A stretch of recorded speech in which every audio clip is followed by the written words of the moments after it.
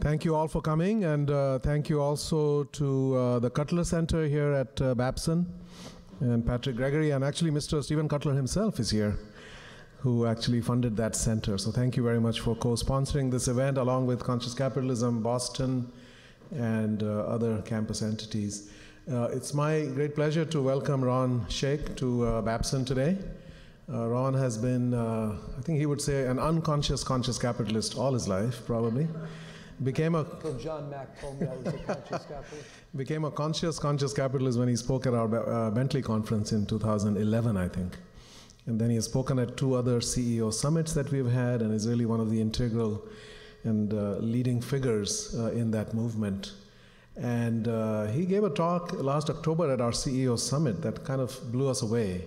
And it was really a very timely and very important and a critically important message about our capital markets and what's happening to great companies that are under siege and under threat in many ways Unilever, uh, Whole Foods, uh, Panera to some degree, and, and many others.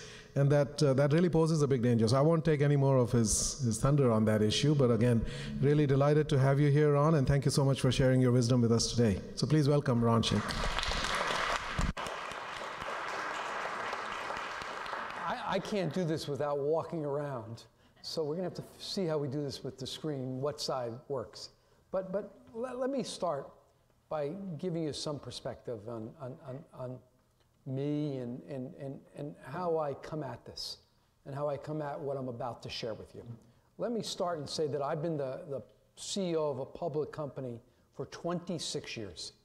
Right? That's longer than Cal Ripken played baseball. All right, I'm talking about over 100 quarterly earnings reports, I mean, I've been through every cycle you can be through. You know? And the truth of the matter is, after 26 years running a public company, I'm still standing. Right? I'm still here. I have strong shoulders but weak knees, but I'm still standing.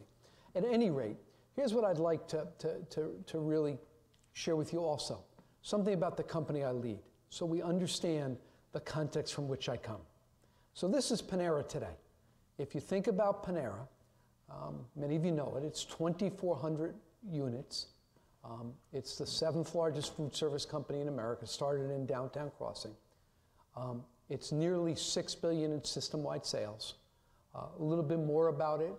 It's 23 fresh dough facilities, 11 million customers a week. I like to say one out of every 30 Americans are served in a Panera somewhere every single week. And it has a $7.5 billion market cap. Um, uh, which makes it the seventh most valuable restaurant company in America. All right, so that's the context from where I come. But maybe for those of us, we're in the investment center, is that right? The Cutler Center for Investment and Finance. Here's its performance as a, as a public company. And I don't know if you can see it, but down here at the bottom is the S&P 500. Here's Chipotle, here's Buffalo Wild Wings, here's my friend Howard at Starbucks, and there's Panera. Over the last two decades, Panera has been the singularly best performing restaurant stock, bar none. And in fact, we have beat the S&P 500, Steve, by 44-fold. And as somebody told me just a couple of weeks ago, they ran it. This is just shy of a 26% annualized return over 20 years, which actually beat Warren Buffett. So, so we, we, we feel really good about what we did. So, bottom line, I won. Right? I won in the system we got. Right? Right? It's the truth. Right? I mean, I, I've been a winner. So I have some possibility to talk about it. Um, so before we do, we talk about the system we live within. I want to talk about what enabled Panera to succeed. So we have to understand, if we're going to talk about the broader world, what works and what doesn't. And I can only tell you from a Panera perspective. The reality is that our commitment to truly delivering for our stakeholders and to making the right long term transformative decisions, I call them bets, um, that allowed us to, to build competitive advantage um, and ultimately deliver better returns for our shareholders. Put another way, shareholder value is a byproduct. I can't make shareholder value. Right? The way I get there is by delivering day in and day out a better competitive alternative by creating a place that when you drive down the strip, you want to go to Panera and pass all those other places. That's my end. And the way I do that is focus on a range of initiatives to get there. But never have I created on value creation as the end. I've created on what creates value creation. I think some call that conscious capitalism. I think Raj would. Right? If you want to call it, as I, as I said, and Raj said in the introduction, I've been doing this for 35, 40 years.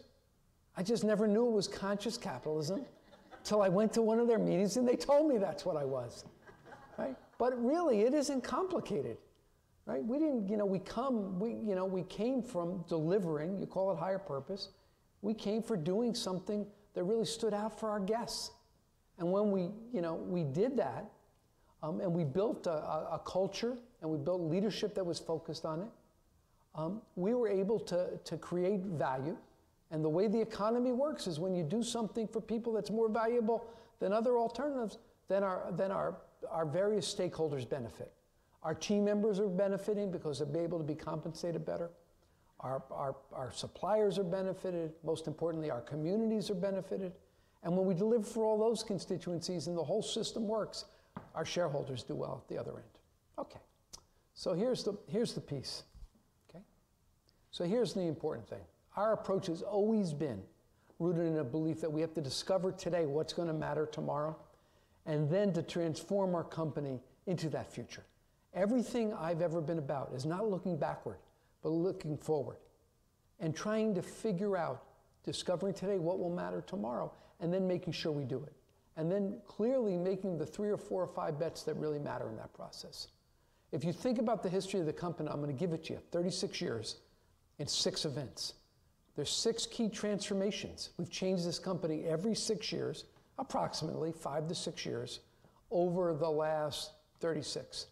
I'm, you know, when I was talking to Steve earlier, he, he was asking me about my former partner, Lou Kane. Some of you may know Lou, right? This was Lou's company, Au Bon Pain. And our company, the company I just sold this summer, we put together in 1984 the combination of Au Bon Pain and my little cookie store. And we took that. It was it didn't take us very long. You know, we empathy is really what matters in building a business. We listened to our customers, and we heard that the croissant, they liked it. But reality was they were using that croissant that piece of bread to make a sandwich. So what did we do? We created a bakery cafe. And this was the first one that really kicked us off in Harvard Square. Many of you have visited it. Um, it, it closed recently, but it was powerful. But that was a transformation from a bakery to a bakery cafe. The second major transformation, the big bet, was in the mid 90s. Au Bon Pain was, we went public in 91. In the mid 90s, Panera was already being pedestrianized. Uh, Au Bon was already being pedestrianized. And in 1993, 94, 95, I spent a lot of time running around the country. And in that process of running around the country, I concluded that there was a significant niche, about 20% of the marketplace, that wanted something better. You know, they walked into McDonald's and they held their noses. They didn't want to serve their kids that, they didn't want to eat it themselves. They wanted real food, they wanted environments that engaged them, and they wanted places that they they, they, that they, they, they actually respected the people that worked there. In a nutshell, they wanted to respect themselves. They wanted self respect. And ultimately, that ideology, that understanding, that niche, became something that's now a $50 billion segment and the fastest growing segment of the restaurant industry, what's called fast casual. Us, Starbucks, Chipotle. But it was that understanding. And we then built this concept, Panera, which had been an acquisition of ours we bought this, this little 19 store chain um, after we'd gone public. We thought it'd be 500. We bought it, and we began to lay into that all this ideology we had developed um, around fast casual. Think of it this way, right? You know, if you if you really go back, in the, originally was Miller and Budweiser. That lent itself to Sam Adams, specialty beer. Think about a coffee. Folgers and Maxwell House, we had specialty coffee. Starbucks. Think about Coke and Pepsi. Coke and Pepsi were basically, you know, large mass beverages. That led itself to things like vitamin water and Snapple and the whole growth. And for us, we came from a place really simply where once upon a time there had been real bread in the country. That had been wiped out. That had become three loaves for 99 cents at Kroger. Um, simultaneously, McDonald's and Burger King had come. They had become fast, I, I call them uh, self service gasoline stations for the human body. And people said, I want to feel special. you saw the emergence of Panera Bread. Just the same thing. It's the application of generalizations. Third major transformation for us was in 1999. Remember, we're a public company. We had four divisions. It had Au Bon International. We went international. Bon Manufacturing. And then I had this business called Panera. It was the third of the of, of in business in terms of size. But in 1998, I, um, I, I was kind of down. And I'll tell you why. As a business leader, I, I was looking at this thing, Panera, and at that time it was 180 stores. And I thought to myself, wow, this thing has the potential to be nationally dominant. It really does. And for every 100 guys that tell you about something being nationally dominant, one ever makes it. It's so hard. It's so difficult. How many times have you made those investments, Steve? You know, and when you're living, oh, and when you're living it, you don't believe it's going to happen, right? And, you, and, and I thought to myself, we're going to screw this up. I got professional managers running it, right? I, I, you know, we're not going to have the right systems. We're not going to have the right capabilities. Nobody knows what's going to hit them. And I was down in the Caribbean, and where, where I, I, like to think it was a Christmas time, and I looked at a friend, and I, I was telling the story. My friend looked at me and said, Ron, what would you do if Panera owned Au Bon Pain, not the other way around? And I thought about it for a second. I said, This is the golden goose. We got to take care of it. If I had any guts, I would monetize every other asset we have. I would go down there myself and run it. I'd take the very best people and make it happen. Because if this is the gem we have to protect, everything gets sacrificed against it. And I'm a kind of guy, if, if I say I'm going to do it, I want to go do it. And I sat on it for about two months and I ultimately said, let's go do it. Now, my board didn't like it because they were part of Au Bon Pain, right? It was the whole thing. And the next two years were the worst two years of my life. Right? And think about it Au Bon Pain was my first son. Sorry, Michael. Um, but it came before you, okay? It really was. I loved Au Bon Pain. I loved the people. I loved what we did. It wasn't a financial transaction, it was about life and a bet on the long term. And it really hurt. It was really difficult, but we did it. We got through it. The blood came off the floor and we ended up being, we kicked the same public company, changed the name of it, and grew it out. But another transformation. The next transformation came from us in the zeros. And by nature, I'm contrarian. And if you remember the beginning of the zeros, it was a time when everybody was levering their balance sheets. And it was a go go time, and it was getting the returns up. When everybody was, was, was levering their balance sheets, our position was hold the discipline, because it ain't going to last forever. Right? And it took a while, but eventually the Great Recession hit. And when it did, we still had a great concept. And we took that money and we invested into, into the, in the recession, we doubled our growth rate because costs had just gone down. That was the time to make a fortune. We, and not only that, when every one of our competitors was ripping costs out of the P&L, we said this is the time to build competitive advantage. We invested into the customer experience. We saw our comps go to mid-single digits, and we literally tripled the value of the stock through the recession. And then we got to 2010. Quick story I was telling these guys 2009, I actually stepped down as CEO. I wanted to apply a lot of this long term thinking politically, and I was a co founder of a group some of you may know called No Labels, trying to, to reduce the hyper partisanship in DC, trying to say, hey, how do we compete with the Chinese with 20 year plans we can't literally hold a budget for three months? And I felt like I'd learned so much of this, I wanted to apply it. But at any rate, I'm out about a year. I'm doing all the customer facing stuff, I'm doing acquisitions. And I came back from the road one weekend. I went upstairs, Michael, to my office, and I spent all weekend writing a document on how I would, how I would scramble, how I would compete with Panera if I weren't part of Panera. In other words, how do I take the very thing I had built and change it and transform it yet again for a new world? And I handed it in to the CEO on, on Monday. He was my friend, he'd worked with me 20 years. And he looked at me on Tuesday and he said, Ron, will you work on this thing? And I said, sure. And here I am, executive chairman, another year later, working 60 hours a week, and I'm loving it. And ultimately, Bill, the guy who took over me, he had a personal issue in his life. He couldn't travel. And, this was, and he came to me and he said, Ron, I can't do this with integrity. And we ultimately, and I didn't want to take over, but we ultimately decided to switch. I became the CEO again. He became the executive vice chairman. And I basically put in place that transformation plan. And that transformation plan worked. It was really a, re, a, a, a, calling for action about being, again, not complicated stuff. You can't read it being a better competitive alternative, finding the growth vehicles that take us from 5 billion to 10 billion, making sure we had the capabilities to execute it, and making sure we had the resources to invest. Okay, so let's go, let's go forward, okay? It worked. The reality is you don't need the details, but we have, you know, the whole strategy which called for digital and clean food and loyalty and multi-channel. We lead in every one of them today. And frankly, the things that we bet on five and six years ago, again, betting ahead of the curve, became the core themes, not only of the food industry, actually of all retail. Right? But we were ahead of the curve because we made the bets, something we didn't do in Whole Foods, which we'll talk about. The result, if you just get it, and I want you to see what happened here. When you make those long-term commitments, you can see our comps growing from 2.6. This is when I realized there were troubles, down to 1.4. And in 2017, we were at we had comps of 6%, which is industry leading. To look at it another way, this is versus the all industry composite. Right? We were beating the industry by last year, 16, 17, by five and 600 basis points. This is huge when you compound it out. And it had huge perspective. The result, Panera's earnings, Panera's stock price, and its credibility hit all, all uh, hit new highs in 2017. It was a great year for the company. And the point is, I want to make from my vantage point as a public company CEO, right? You know, you've had the success of the company. But what's the context? What's happening in the market? And that's what I want to talk about, and then I want to bring it together with how I dealt with it. Right? So I had the opportunity to observe the evolution of our capital markets up close as a player, um, directly at the effect of it. So let's start with a couple of things.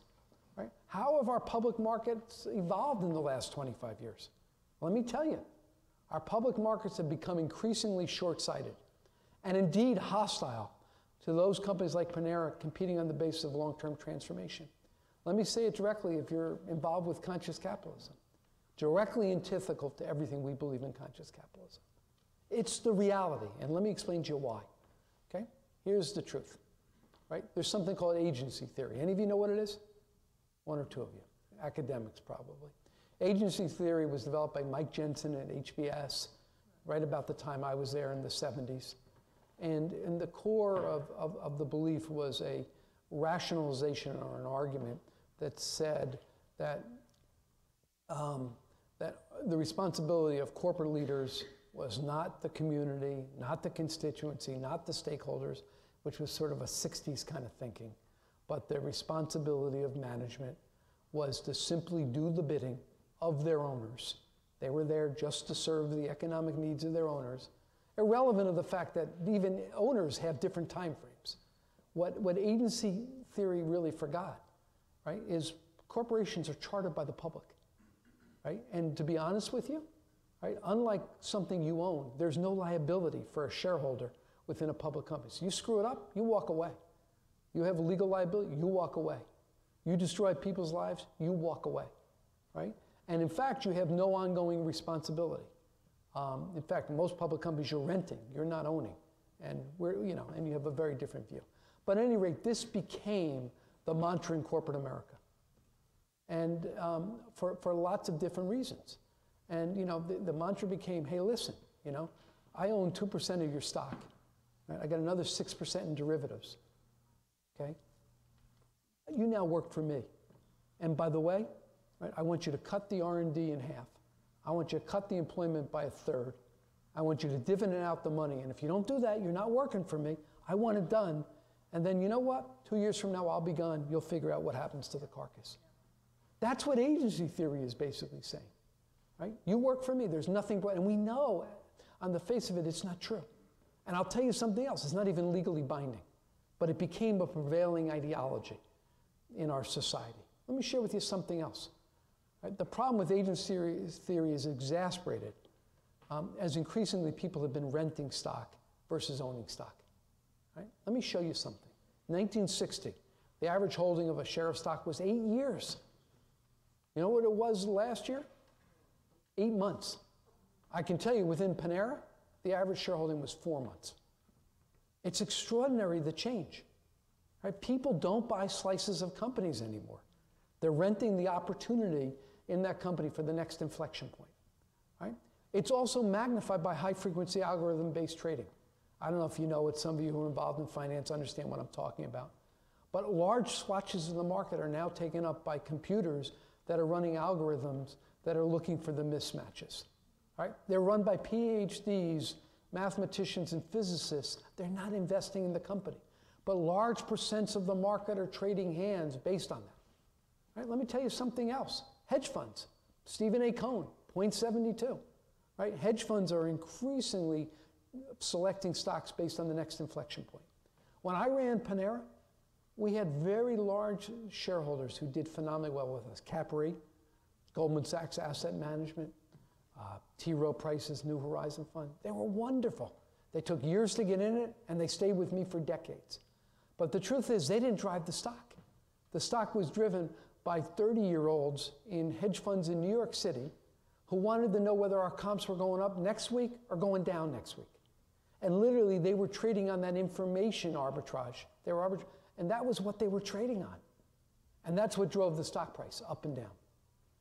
Meanwhile, active managers, yeah, we were just talking about it, active managers were becoming increasingly more short term too, because they were being marked to market, they were being incented on, on, on their results.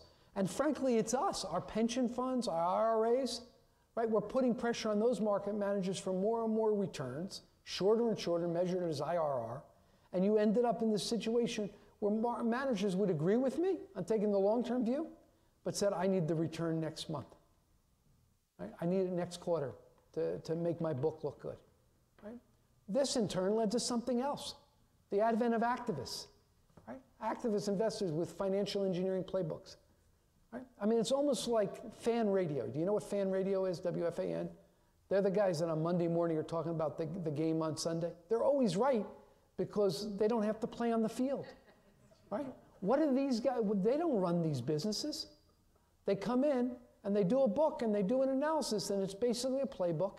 It's basically financial engineering at its core, right? And it's really it doesn't take very much for us to increase the risk return, risk curve, right? And, and, and, and, and, and, and lever up the balance sheet um, and take short run views.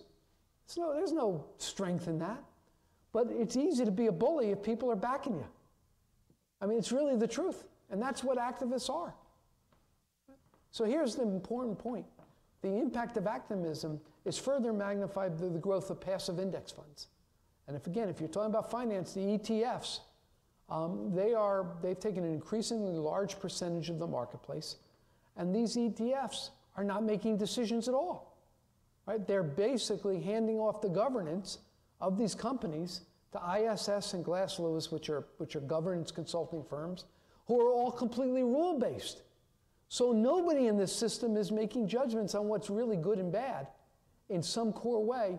And everybody's backed in the activists because how does it hurt to get a little bit of a kick in the stock? We'll be done. There'll be another thing we can buy. Right? Where does that lead? Here's where it ultimately leads. It leads to more and more activists taking over larger and larger chunks of companies. Right? And, and I'll tell you a story in a second what's happened in my industry. But across all of the public markets, you're seeing 20% of companies attacked by activists. This is huge. Is that really how you want to run your company? Right? Having people walk in and say, hey, do this, do that, or, you know, and fire your management, but let management manage. All right, I'm going to go off. Right? Many prominent companies have found themselves attacked. Just think of them DuPont, Pandora, GE, P&G, AIG, Whole Foods. We're going to talk about that in a second. Right? And the reality is, the funny thing is, what do companies do? They transform. What activists do, they stop the transformation and they short term it. The result is that today, and this is something people don't say, but we all live within the pressures of our, of our environment. I'm going to tell you as a CEO who won. CEO vulnerability is extraordinarily high. They're increasingly at the mercy of short termism and activism. And when they're without the air cover to affect the long term transformation.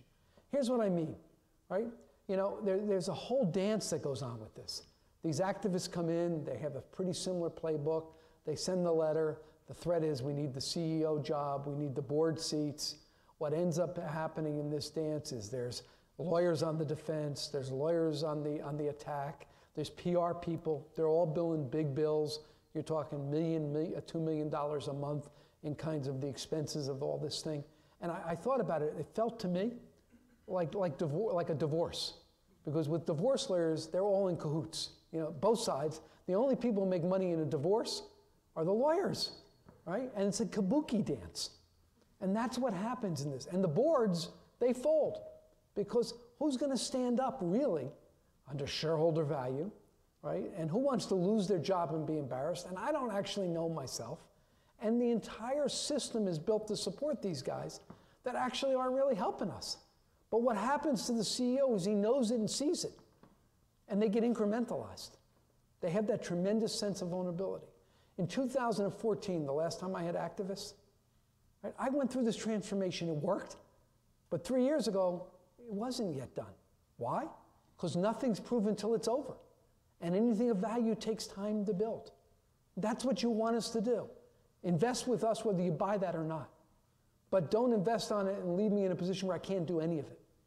And when I'm in the middle of it, that vulnerability is extraordinary. Why? Because I care. I really give a hoot. I care about my people. I care about my shareholders. I care about the vision. And the truth of the matter is, if I know somebody can walk in and say to me, Ron, right, I'm going to vote you out tomorrow, I'm scared beyond belief. Right? Because I, everything I've worked my whole life on could be taken away. Right? The vision, the things that I care about. And that's what we're doing to our CEOs. And we'll talk about what the reaction and what the response is. And ultimately, there isn't any air cover to do the very thing we want to do conscious capitalism, long term transformation, call it what you will. We're turning our, our CEOs into knee jerk junkies for, for boosting the next quarter. You don't want it. Right? So, what happens? What do the CEOs do? They focus more than ever on short term fixes, which in turn gives guys like me who think long term even more power. Because remember, everything is about competitive advantage. If all you're thinking about is the next quarter, and all you're thinking about is, is how do I get there and get my costs down and avoid the activists? If I come along with a, with a position where I have enough stock that I can think long term, I win. Look at the research. You'll find family owned companies are doing better, right? Better than, than, than public companies. Right? I was just at a conference speaking two days ago, right? Um, very large, closely held companies. They all get it. They're thinking 10 and 20 years. They're China. And our public companies are the United States with Congress that can't get a budget passed for the next three months. It's the truth, right? That's what you're giving yourself as options. Need more proof of what's going on in the capital markets? Let's discuss what's, some, what's gone on in my industry in the last year. I want you to look at Buffalo Wild Wings. This is a great story. Right? Buffalo Wild Wings, I knew the, the CEO, Sally Smith. She gets a call about a year ago, a little more than a year ago. They're, oh, I'm sorry, she, had, she was up tenfold, 10x, in 15 years. She then had her comp store sales begin to flatten out. She had a young activist that decided to attack her, Marcato, who had come out of Bill Ackman's shop. He was going to make his reputation. They attack. Sally um, calls me, right? Because I've been through this before. And, I, and she says to me, What should I do? I said, You got to draw your line. And she drew her line. And ultimately, they were going for everything. They wanted to make their reputation. They decided to run a proxy against her and her entire board. And despite the fact that all of her franchisees supported her 100%, her entire management team supported her, and she'd had a phenomenal record, right? They, she lost in the proxy fight. And the day after she lost, she, they, they basically, she retired, okay, that day, effective the end of the year. From that point forward, the stock started, well, I'm sorry, it went up for a month, right? The stock then went up for a month um, after the activists took control of the board, and it then fell to three quarters of where it was. And ultimately, by the end of the year, they sold the company, right, and came out with a stock price less than the activists had when they came in. This isn't good. Right? They destroyed her, they destroyed this company, they flipped it, they put it in, in the hands of other people at values it really wasn't worthy of. But they had their own agenda. They didn't really know. I think that the discipline, it was like the dog that caught the, the, the bus, right? I mean, they, like they won and this, they didn't know what to do. Right? This happens. Um, Popeyes, right? another company. Popeyes, any of you know 3G? 3G is, you know, the, the playbook for financial engineering. Cut the costs in half? They ended up paying, the, I'm very proud to say, I participated in the largest US restaurant deal, the sale of Panera, at the second highest prices ever paid for a restaurant company. The highest prices ever paid was the purchase of Popeyes. Why? Because nobody wanted to sell Popeyes to 3G. 3G had to bid this up so high to get the company because everybody knew what 3G was going to do, which was rip it apart. That's what happens when you do simply financial engineering, right? And this is not good for the marketplace. Another company called DineEquity, this was the original playbook for financial engineering. uh, DineEquity is Applebee's and IHOP. somebody took it over 10 years ago. They ripped all the, the G&A, they franchised every store, they optimized it in a short-term sense, the stock took off. Well, the company started to have issues who was going to fix it? There was no G&A. There was no organization. There was no human capital in there. They, they, they, they were really stripping it out as royalties. And they had a situation um, where the only thing that the corporation really cared about was intellectual property. And the franchisees were going crazy. What happens? Right? This company fell apart. The CEO got fired. This is what happens. And you have to say, what time frame are we looking at? One month? One year? or 10 years. It happens. On the other hand, some restaurant companies have continued to win. What ties them together? They're having, what they have in common is a capital structure, usually a founding family, but they have a capital structure that allows them to focus on the long term. Starbucks, Papa John's, Panera, Chick fil A, Texas Roadhouse. It's amazing. And this is in an industry where 20% of the companies have been attacked. Okay? So here's my point capital structure and the resulting ability to think and act long term is a powerful competitive advantage. But our markets are working directly against it for our companies. I mean, that's what's happening. All right, here's a great example Whole Foods and Amazon. I think, as Raj may have said, I was on the board of Whole Foods. Um, and I came in towards the end, as a friend of John Mackey's, trying to help him deal. He had activists. Right? Here's the reality for Whole Foods, the world had changed.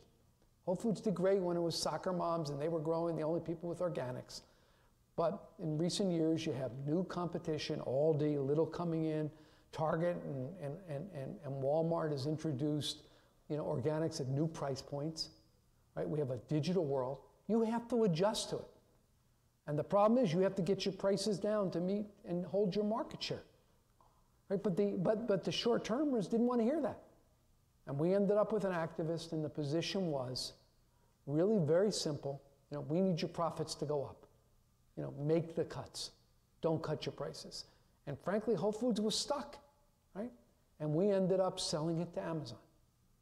Right? So let me ask you a question. You're very smart people here tonight. Right? What is the difference between what Amazon is doing and what Whole Foods would have done? Anybody know? What do you think? You're, you're observing it, ma'am. Go ahead. No, go. I, no, I'm asking the question. What's the?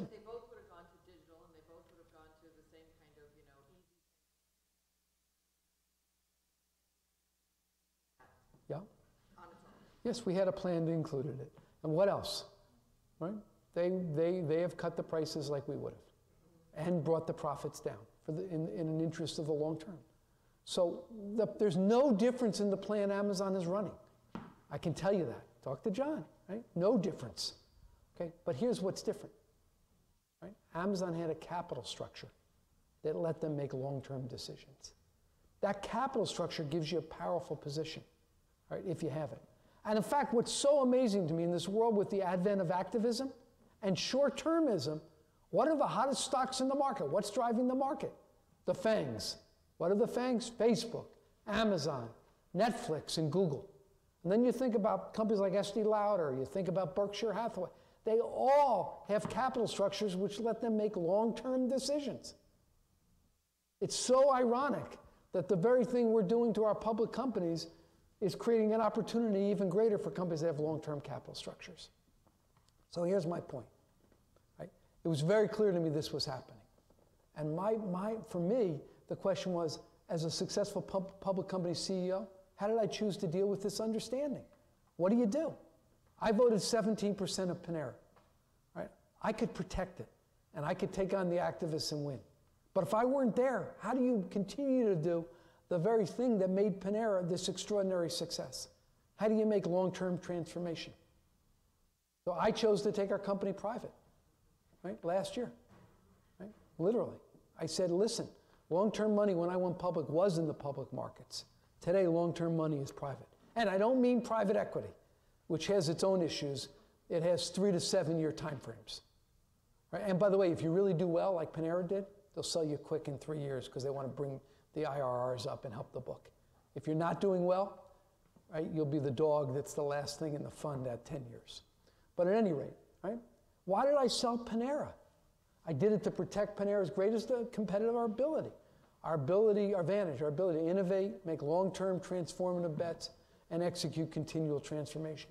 It isn't complicated. You got to have the support and the structure that allows you to do it. Second reason, I did it to insulate our stakeholders, all of them, from these very short-term predatory behavior of, of these financial engineering playbook activists.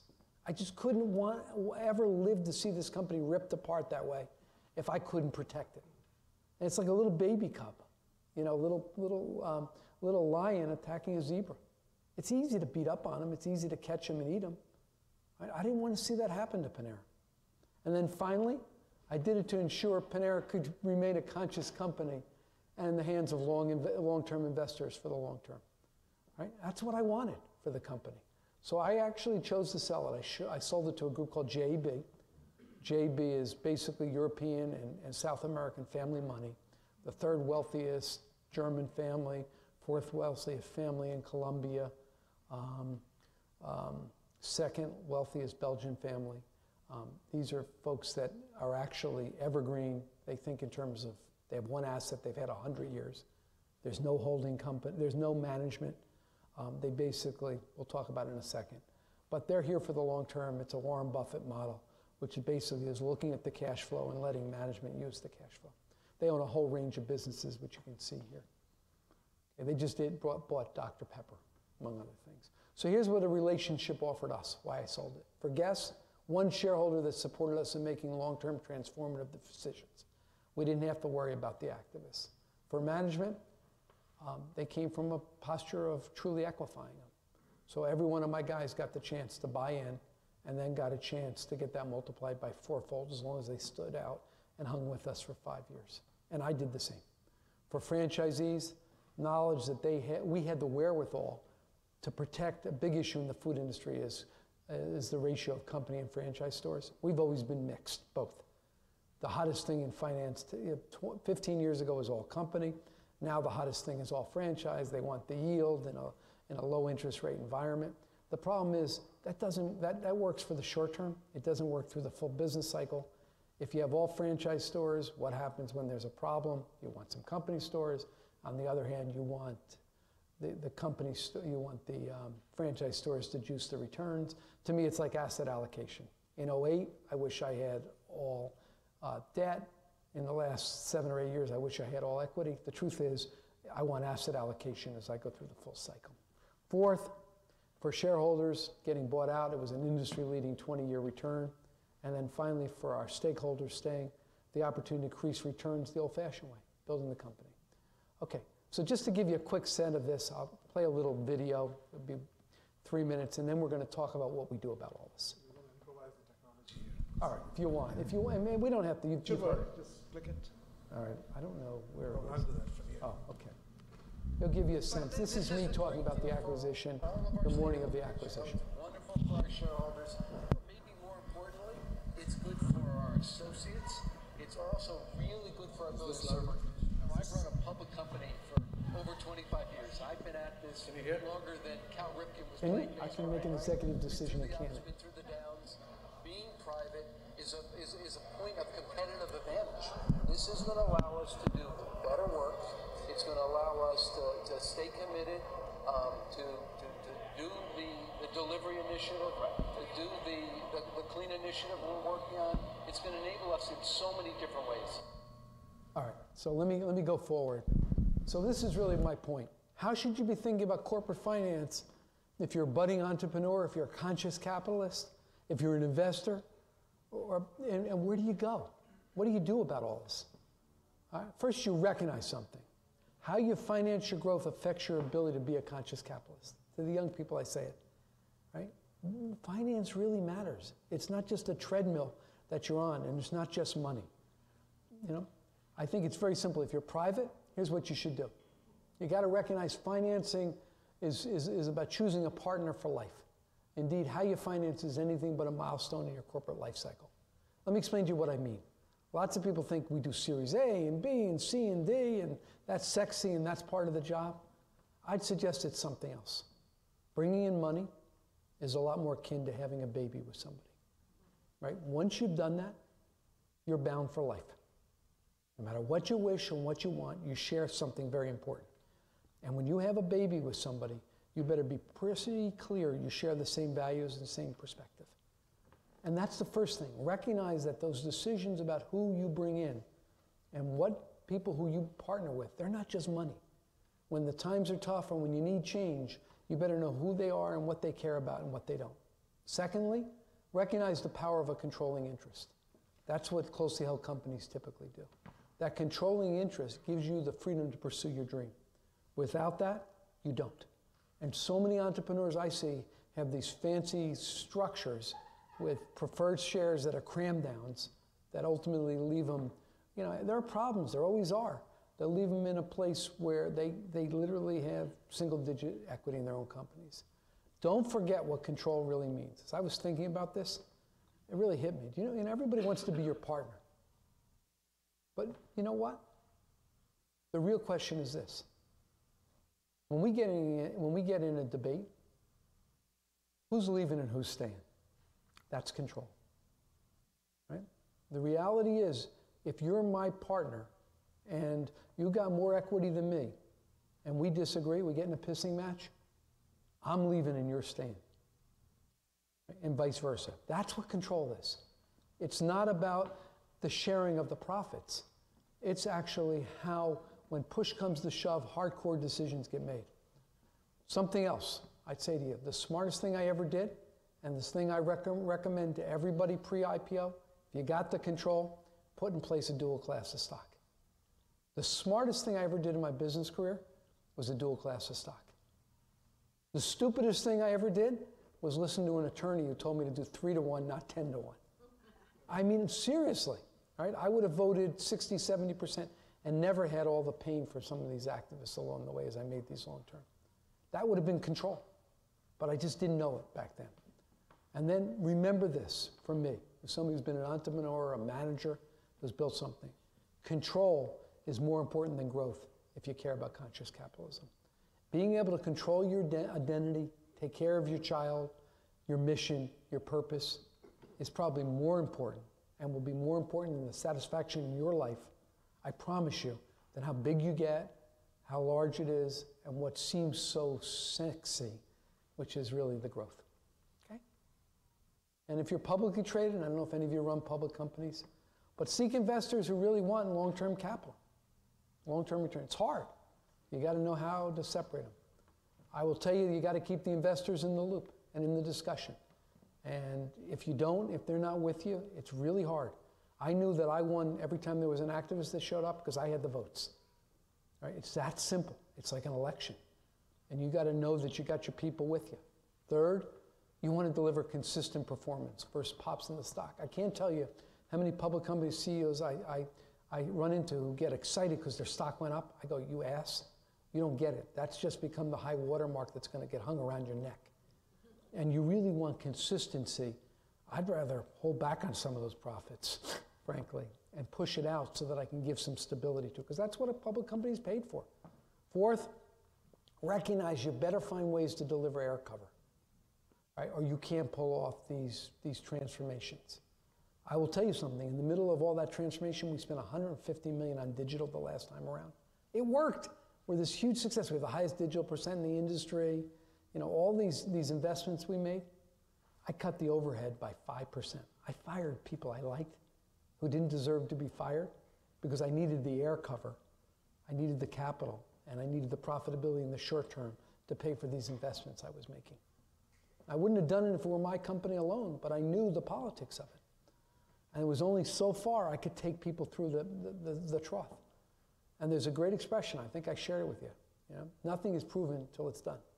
You know, I love, during every one of these transformations, I have these experiences, right? So back when, when we sold Au Bon Pain and Bet on Panera, you could have bought our stock for three bucks a share.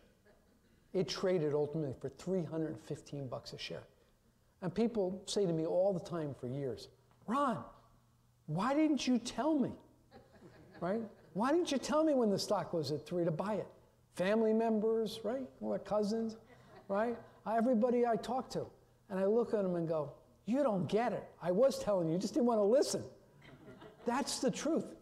And that's why you want to try to get yourself air cover because we live in a world where we take spreadsheets and extrapolate what happened yesterday. And then finally, consider going private with long term investors who share your mission. It's a heck of a better way to live your life, and it means you get there. So I want to talk about the last thing and the important thing. As a society, right, we've got big implications here. We got to recognize the ways in which our public markets are, are increasingly misserving our greatest needs. It's really the core of everything I want to say. And I want to start by saying I'm not the only one raising the red flag. This is Andrew Ross Sorkin in the New York Times. He writes It's no secret the public stock markets, despite the heights they've reached, are fundamentally broken. No chief executive wants to live in the glare of the public spotlight and deal with pesky investors who hold stock in time frames of days and months, not years and decades. The number of companies listed in the public stock exchange is half what it was two decades ago. Last year, fewer companies went public than during the financial crisis. What is that saying? Right? This is a serious problem. Right? Let me share with you something else. Any of you know Clay Christensen from HBS? Probably the principal thinker on innovation, right, in, in the business community. Clay calls this new world the world of uh, the church of, of new finance. He says it's ludicrous. Basically, what he's saying is in this world where IRR is everything, driven off of spreadsheets, the only kinds of investments you can literally make are cost cutting ROI investments. Why? Because the R is absolute and the I is capped based on time. So, what do we end up with? We end up with metrics that support that, we end up with investment decisions that come from that, and we ultimately eliminate more jobs and make our, our country you know, less attractive. It's, it's really that simple. And if we want growth in our society, we've got to support innovation. You know, I, I don't know about you, and I won't argue politics, but I can tell you, most economists will tell you the tax reform we just put in place to drive GDP growth, it's a sugar high. It's going to be good for 12 months or 24 months, and our kids will pay for it for, for decades. The reality is, if we want real growth in the economy, there's only two ways to get it innovation and productivity. And my challenge to you is is our system set up to get that? Or is our system antithetical to it? This is the real truth. Here's the concern the short term focus of today's public market poses a terrible, a powerful challenge to the ability of America to compete, to innovate, to drive multi year transformation, and to create real economic growth. That's what we're playing for, and that's what we're talking about. And it's our country, and it's our economy, and it's our kids. So, as citizens, as conscious capitalists, it's imperative we support structural changes to our capital markets. My goal is to talk about this stuff. That's step one, to be conscious. And step two is to do something about it, not just talk about it. And that means real changes. Right? So this is Larry Fink. Some of you know Larry, right? I know him, BlackRock, biggest asset manager. CEO. He wrote very recently, the time has come for a new model of shareholder engagement one that strengthens and deepens communication between shareholders and the companies that they own. He wrote, I've written before that companies have been too focused on quarterly earnings. I don't understand why he is, but at any rate. Similarly, shareholder engagement has been too focused on annual meetings and proxy votes. If engagement is to be meaningful and productive, if we, are if we collectively are going to focus, we have to collectively focus on benefiting shareholders instead of wasting time and money in proxy fights. Then engagement needs to be a year round conversation about improving long term value. This is Larry Fink saying this. Right? It's real. Okay? And there are people that are talking about there are provocative ideas out there. They're really not all that productive. They're solutions. Um, one is uh, what's called a long-term stock exchange, right? Being proposed. Uh, who's whose list of venture capital backs it? Marc Andreessen, Reid Hoffman, Steve Case. A lot of folks. Um, there's there's the, the Aspen Institute has just gotten behind this. There's a uh, there's a group out of um, here in Boston that, that spun out of Wellington, which is which is actively involved in it, which is um, long-term asset improvement. Um, there are a lot of people talking about whether our markets are serving us. Right? But here's the kind of things we would change if we could, and it happens. The first is differential voting rights for investors. In Europe, certain countries, there are different voting rights based on how long you hold the stock. We have different tax rates based on how long you hold the stock. It's public policy. We can do this without any cost in terms of taxes. Do you really want somebody who's owned the stock for all of about 30 seconds to have the same input and impact as somebody who's been in it for three years, proven their commitment, and is willing to hang out for another three years? Right? I can tell you, right? I want somebody taking care of my money who's going to be around in three years, not somebody who's going to be gone after they take their hit. Right? Second, new disclosure policies, including potentially a moratorium on guidance. Guidance is the fuel of this whole thing. Right? It begins by saying, you know, I, I do a quarterly earnings report. The question wasn't how the company's doing its trajectory. It's whether I hit the numbers the hedge funds thought they were, the inflection point was at. And it's all confused in this short-termism. And then finally, a complete rewrite of compensation systems so that executives truly focus on the long term. Now, there are many things here that have to be had. So here's the point I want to leave you with this afternoon. Right? Really, it's my conclusion. As business people and as citizens, we've got to understand the consequences of how we finance and how we grow our businesses and the ultimate effect our system, our system, it's not theirs, ours, has on innovation and economic growth. And we must push for structural changes in how our capital markets operate and drive behavior. Very simply, if we don't, the long term health of our companies and the economic vitality of our economy is at risk. Thank you.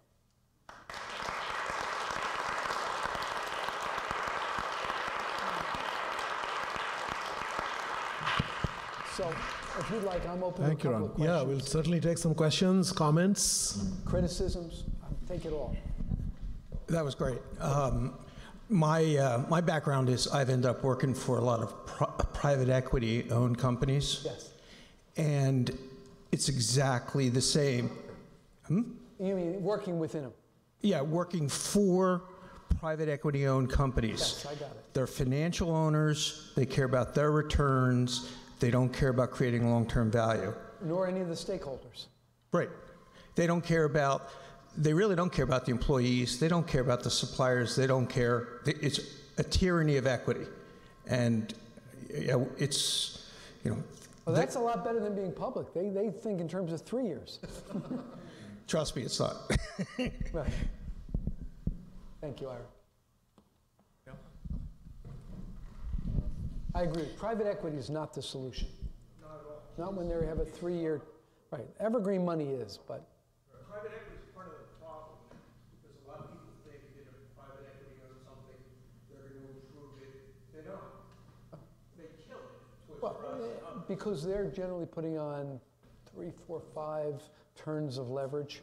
Right. And you're, you've got a lot of op, financial risk in there. And it was a, it's a wonderful strategy when we have declining interest rates, negative real interest rates. It works beautifully. Question is, what happens on the other side of the business cycle? But you, you still, you have to pay back the debt and the fees to private equity owners before you're investing in the company. Yes. And that's, And that, I get it. I, you know, and the, you know, the, the vulnerability managers feel is huge. Yes, ma'am. Um, I'd like to ask you to comment on the startup economy, especially in places like, you know, Boston and Silicon Valley, where sometimes you've got, you know, a boy and his dog, one guy and a patent, and, you know, his entire interest is getting to the point where he gets big venture capital money and then he spends most of it hoping to be bought, you know, it, but instead of actually building something? That's a great co- question. I'll, I'll share with you something. I'm putting my money where my mouth is, right? And I've done well. And I've actually created um, an investment vehicle with some partners. I don't want outside money. I don't want to run a fund. But simply put, I'm going into um, traditionally venture-backed companies.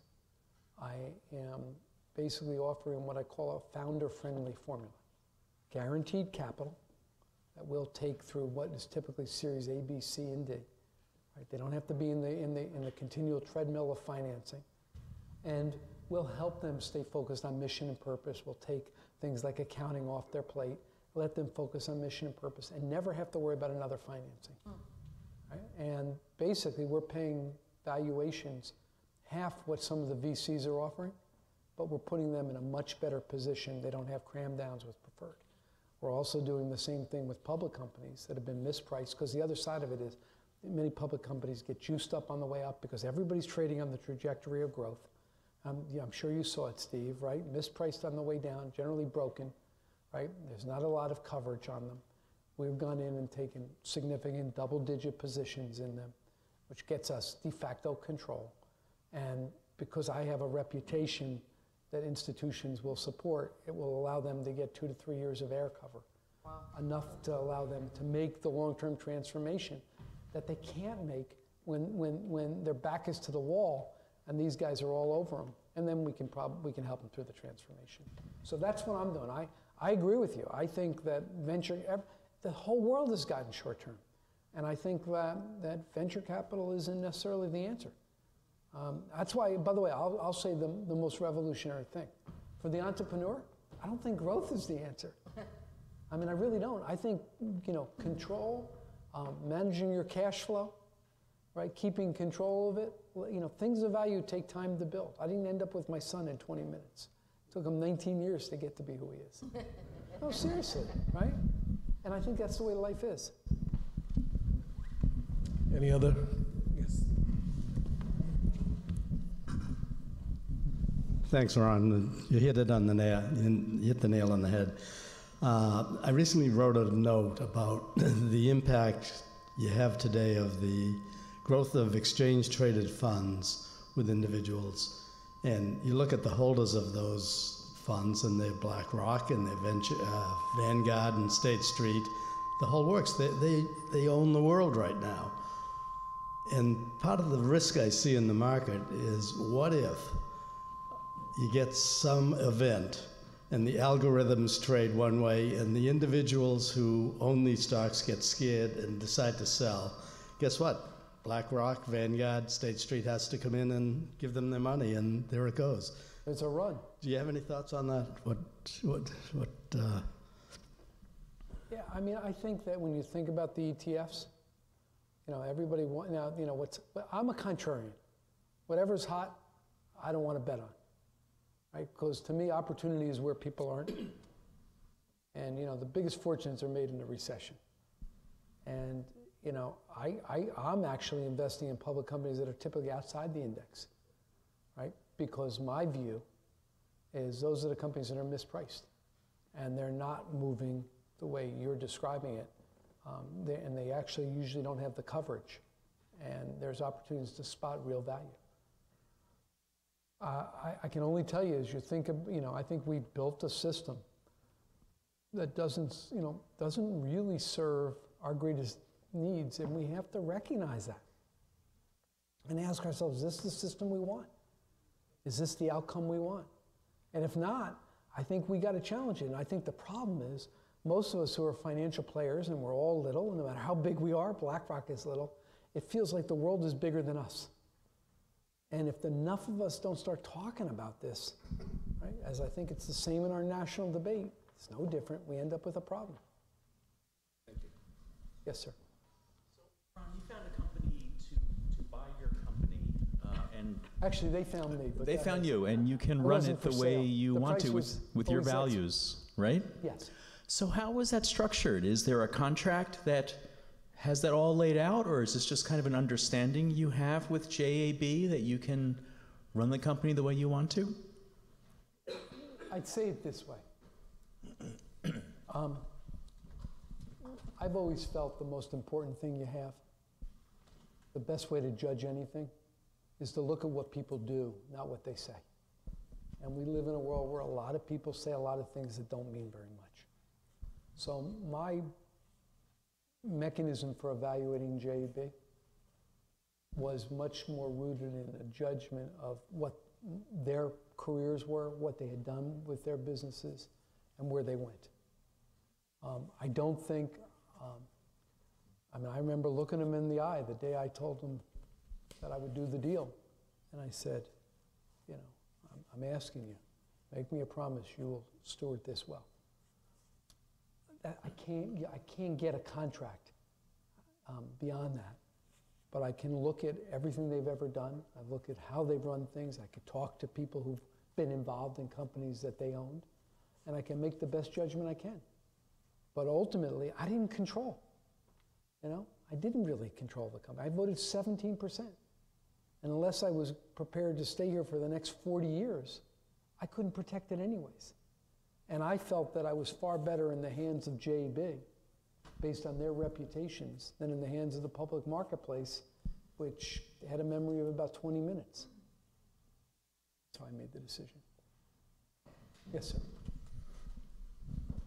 Yeah, go ahead. Uh, Just real quick, I've seen some uh, new upscale fast casual service models successful in the market nowadays. Uh, Shake Shack and Take, uh, Takes, Take That. Tata. Yeah, I own that. yeah, that's why I'm asking asking Yeah. the question. Do you think that's the beginning of the trend, or how far do you think that type of service model is going to uh, continue? Okay. So this is getting a little esoteric, but I think you have it completely wrong. It's not rooted in the service model. Okay, so here's what, what happens. Everything builds on everything. The first trend in the, in the 50s and 60s in food was fast food. Has, fast food represented consistency across America as the highways and interstates went out. That's all it was. It was basically commercial processed food that you could count on for consistency. Mass market. The next wave would, would be what we'd call fast casual 1.0, what Panera was, what Chipotle was. It wasn't the service system, we have a different service system. It was that we were, we were basically bringing what Panera brought were soup, salad, and sandwiches to Des Moines, Iowa, across the country. We brought something that wasn't hamburgers, it was a different niche and a level of quality and, and, and self respect. I think the next um, wave is this has become so big already. Panera is big, it's a major company. Chipotle is, Starbucks. What you're now seeing is the niching. Fast casual 2.0 is the niching of the mass fast casual market. So they're guys that are coming above Panera, below Panera. Um, and what I intend to, to, and I'm investing predominantly in the food service industry, where I know, where I have competitive advantage. I believe the next wave is essentially rooted in these very large niches, which actually um, are able to take market share from the mass fast casual operators. So Tatte, if you know it, which we own, is a better, um, straight up, um, it's, it's, it's a upscale version, right? It's not going to work everywhere. It's not mass the way Panera is, but it will work in Chestnut Hill and work in Darien, it will work on Charles Street. And it brings a different edge at a different price point. It's a niche, a sub niche. I think of other businesses I'm in, you may know, you know, I'm in Mediterranean, I'm in, um, you may know I own something called Life Alive in Cambridge, which is, I call it a spa for the human body. You know, you, you know, you go in and you feel better about what you just ate than when you, when it's vegetarian. But we don't compete as vegetarian, we compete as food that makes you feel good about what you just ate, a spa for your insides. And we don't say that, but that's what we want to induce. And I think there's a range of these niches that are out there that are very, very viable and are very worthy of, of growth. I don't know if that's helpful. And thank you for letting me tease you. All right, where do we want to go next? Yes, sir. We'll go over here and then over there. Go ahead, sir. Uh, I have a question. How do you see Panera Bread expanding into the developing countries? The price, the purchasing power of people set aside, and we cannot afford a regular meal of ten dollars, twelve dollars, Where are you from? uh. Okay. So first off, you notice Panera is mostly domestic. We have stores in Canada. We're going into Mexico. And by the way, I reinvested in Panera, so I'm off Panera too, right? So I'm, I, I would say to you this. I think you increasingly see in the developing markets, like, like Mexico. Is that a developed country or? A, yeah, second, second level. So Mexico has got something like 90 million middle class folk, right? It's not like they don't exist there, right? There's, there's lots of low income folk, but there's a lot of middle income. And the question is, how big is the market for your target? Not, what is the average of the population. The whole nature of business is really rooted in niches and understanding who you are. You know, the one thing in all those transformations that's been a constant for me, the one thing we've been rigid on is, is understanding who our target customer was and continuing to evolve the concept. So in 36 years, we haven't changed in wanting to be the best for that customer. And I would say to you, relative to countries like Ecuador, how big is the population, the niche for the experience you're selling? Okay, let's go over here. Sir. What impact do you see artificial intelligence having?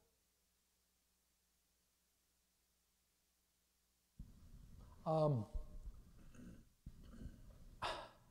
I mean, look at, I think the name of the game is figuring out where the world's going to be.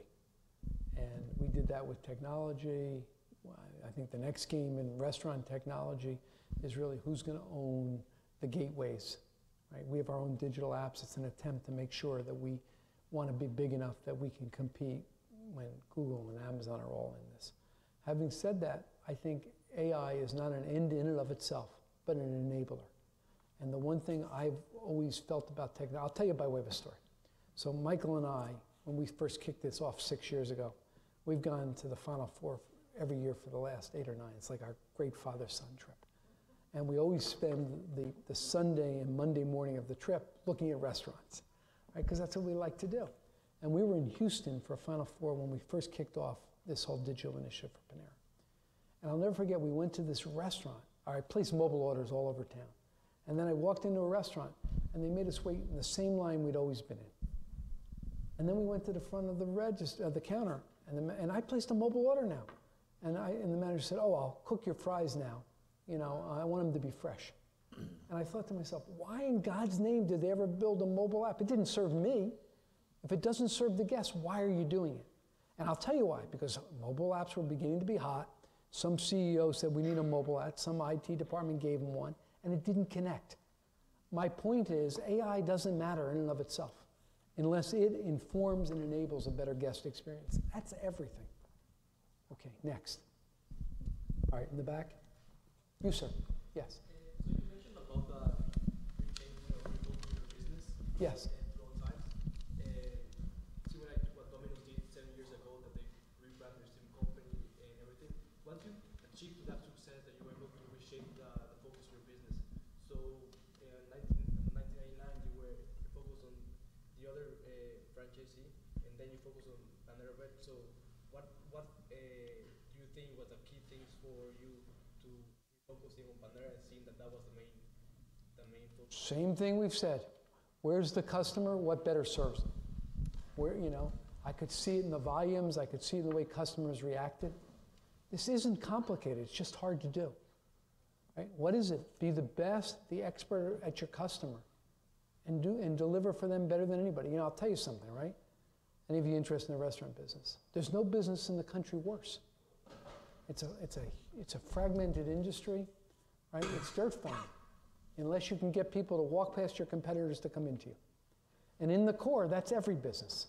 You better be the best for, for your customer or you lose. Okay, we'll take a couple more. Go ahead. When does Panera Bread plans to expand its restaurants uh, outside North America? When we run out of territory in America. I mean, I'm not kidding you. Why? You know, there's a whole infrastructure. Growth isn't the end. Sensible growth is the end. We've got every every quarter we sit down and look ahead three years and ask, do we have enough growth to feed the monster? And we do. Now we're still growing in Canada. We're going to open up Mexico. You'll see us, but um, we're not in any rush to, to, to be international. My good friend Steve Ells opened a store in in Paris, London, and um, I believe in Geneva. Right? It's now five years later. He's got five stores in, in, in Europe. It's great for a trip. It's wonderful to do the grand opening, but it ain't a hell of a business model. Yes, sir. Is this short-term focus particularly acute in the United States? You made some comparisons to Europe as well, but I'm wondering are the trends elsewhere going in our direction as well, or are I, there lessons to be drawn from? Yeah, I'm less an expert because I haven't run a company, public company outside America, but I'm very involved with Europeans, JAB, among them. I, I think by both culture um, and, and society, the Europeans are less aggressive in becoming short term. Doesn't mean they're not moving in the same direction. I think our whole society is. But I think you have in France where you have differential voting rights. I think they are more conscious about and more willing um, to think about how the ways in which they do things either serve or doesn't serve their societal and, and cultural objectives. Yes, sir. I'm curious if you could share one of your favorite failures with us, maybe an experience that didn't go the way you wanted it to and what you may have learned from it. Yeah. So, I think about my failures, I would say to you, there's tons of them, right? But uh, other than citing one in particular, because it would make a good story, but it's not really where the action is, I want to drive the generalization. I actually don't think of them as failures because they're powerful learning opportunities. Right? And the trick is not to not fail. It's to make sure that when you fail, you don't self-destruct. You don't fall off the, off the road. So I'll, I'll tell you a little story, right? So, you know, we, everybody says, you know, you're, you know, you're a capitalist. I'm not a capitalist. I didn't have any capital. I had 25,000 when I started. What I am is an opportunist. And I see opportunities. And I search for opportunities to make a difference in people's lives. And when I do, I've created something, right? From that view, from being an opportunist, I am very, very, very focused on being risk averse. I get stunned by the number of risks that people take, right, and why they take them with their business. I will, I would, I, I, if I see an opportunity, it's powerful. I want to protect our ability to get that. So nothing has ever blown me up along the way because I never let myself be in a position where I could be at that effective risk. And I was willing, you know, I like to call myself a cynical optimist. I believe in the dream. I'm very optimistic. I'm very hopeful. I could see what could be. But I also know along the way, stuff always happens. It's always three times more expensive, three times more difficult. So I try to build that into my own um, capabilities and to adjust with it. And I try to learn from it. And one of the things that I feel today, what I want to share, is I feel like I've learned so much at this. And I see so many people that, that a lot of the things that I obsessed with over the years, that's part of when you don't know, Seemed pretty clear to me today. And all I can say is I, I, I, I want to share that. I don't know that I answered your question directly, but I, I think I gave you something more valuable. All right, we'll take two more. All right, whatever you want. Go ahead. Yes, ma'am. I miss your Coolidge Corner store. Me too, since I live two blocks away. Yeah, and I wondered since it seemed always full and pretty steady staff, what are some factors that go into something like that? Yeah, we close about 1% of our stores a year. Um, we'd gone to the end of the lease. It had been the first store in the Boston market. The rent was high to begin with, and they wanted more rent. And it just wasn't economically viable. Um, and so we made the decision to close it, which we do. It happens. And, you know, another lesson in all this, right? You want to run a business, being cynically optimistic? I, I've done this over and over and over, is you got to cut off a toe to protect from gangrene. And the wisest thing in the world, if you want my strategy in business, number one is to tell the truth. That's what it starts with. Number two is really to know what matters, um, what's going to get where you want to get to. Um, stay focused on those two or three things. I'll go off on a tangent. It's the antithesis of what our president is doing, which is simply reacting to what he feels every day. And in the end, every president is defined by one or two or three things. You know, you know, you look at Bush, it was it was Iraq, and it was 9/11. You look at Obama, it was Obamacare. You better get the big things right, and you better know what they're going to be when they show up in your lives. So know what matters is number two. And then number three, what a lot of people forget is what you say is going to matter. You better get done. No baloney. And I think one of our hallmarks is we got it done about 80% of what we said we would.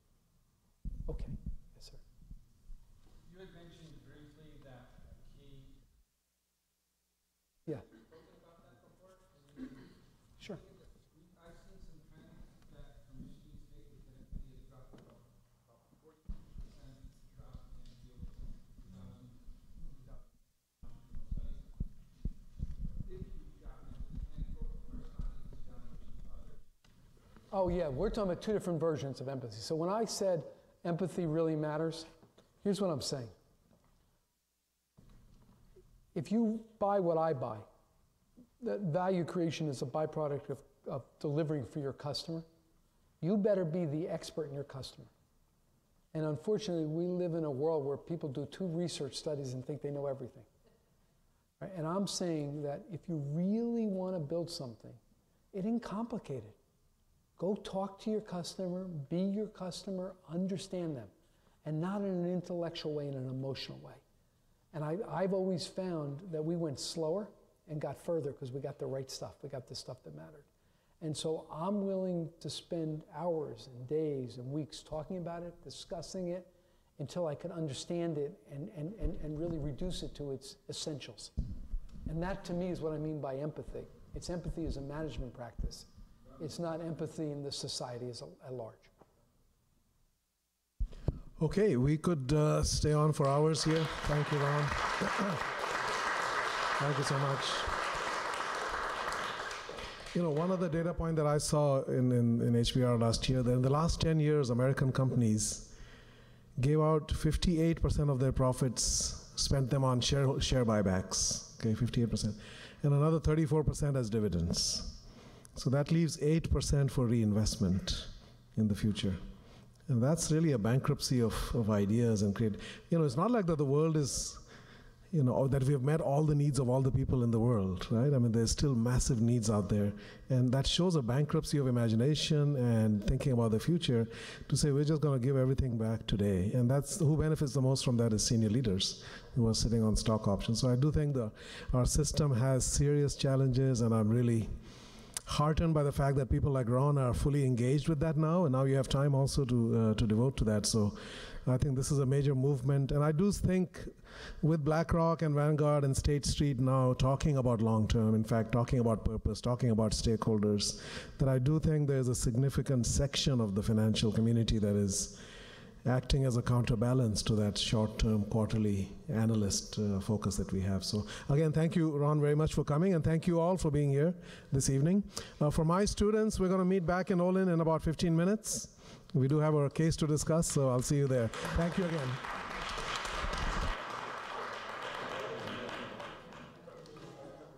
All right. Good luck.